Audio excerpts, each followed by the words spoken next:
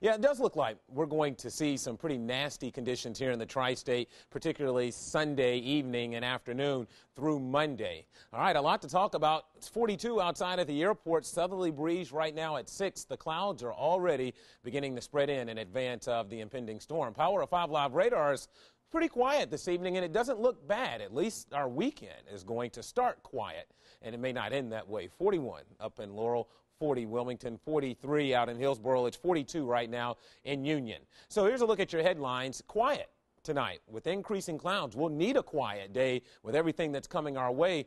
Temperatures won't fall too much tonight. That's the good news. So only down into the 30s this evening. Saturday, rain by afternoon, changing to snow Saturday night, and then it looks like some nasty cold, really nasty cold and wind will invade the tri-state Sunday, and we may actually see the snow pick back up Sunday night into Monday morning. Let me show you what's happening. Here comes the high clouds already beginning to race their way in. It doesn't look like much right now across the center part of the nation, but Here's the storm beginning to gather strength up in Wyoming, and it's going to make a run right at the tri state, and it will be far more impressive as we get into Sunday. All right, there's still a lot of solutions out there on the storm, and I was hoping certainly by today we would have it pinned down, but there are still a lot of questions to be answered.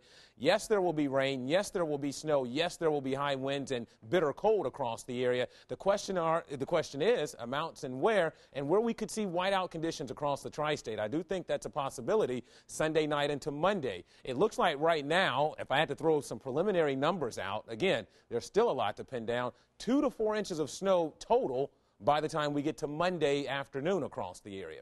Let me show you Futurecast and how things pretty much begin to evolve. Again, with the clouds increasing tonight, it's quiet across the area.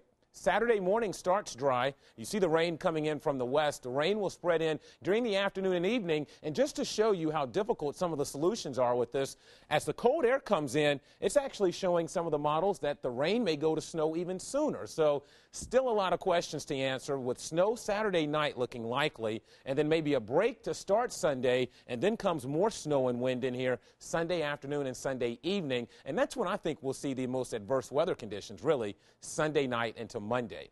So 30 for tonight. Let's enjoy the breather. 44 for tomorrow with rain by afternoon. Here's your seven day forecast. Again, dangerous cold. Wind chills may dip to 10 below Sunday night and Monday with snow falling across the area. And look at that. Highs only in the teens through Tuesday. And believe it or not, we may have another storm on the horizon by the